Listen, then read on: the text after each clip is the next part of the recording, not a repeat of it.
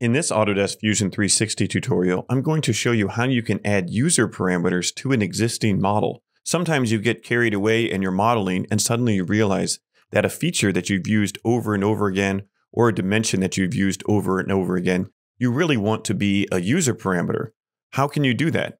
Of course, you could go through all your sketches and your features, edit them, then look for the feature that you want to be a user parameter, create the user parameter and change them. And that's a perfectly fine way to do it. But I think it's easier that if we go to the modify parameters section, create our user parameter. In this case, I'm going to create a parameter ply, and I'm going to make it three millimeters. Then I can go ahead and look all through my sketches and look for that three millimeter. And then I can change these to ply. If I go through and I find all these three millimeter dimensions, I can change them to ply, and then they will be linked together with user parameters. So I can look at the extrudes, and if I know a little bit about my model, I can see what these are and then keep changing them.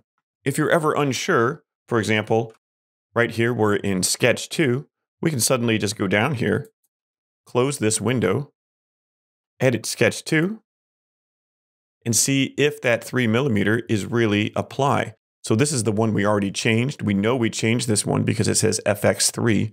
And then we can double check. Oh, yes, this one is also supposed to be ply. So I can double click it and type ply here.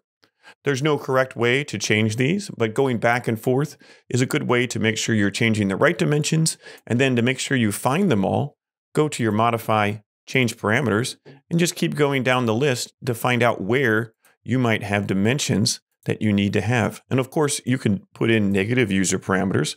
So I'm going to do negative ply here. Make sure you pay attention to that as you're making your different changes. For example, this one is also negative ply.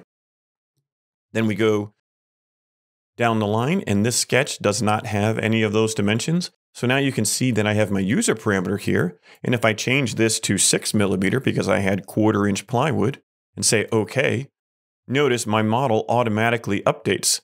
That's the power of user parameters. And it's great to add them to existing models so we can update things automatically.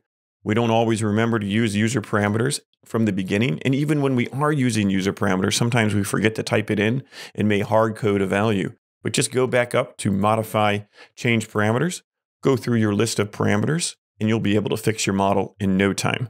Hopefully, this helps you add user parameters to existing models in Fusion 360, and you're able to make customized parametric changes to your 3D models.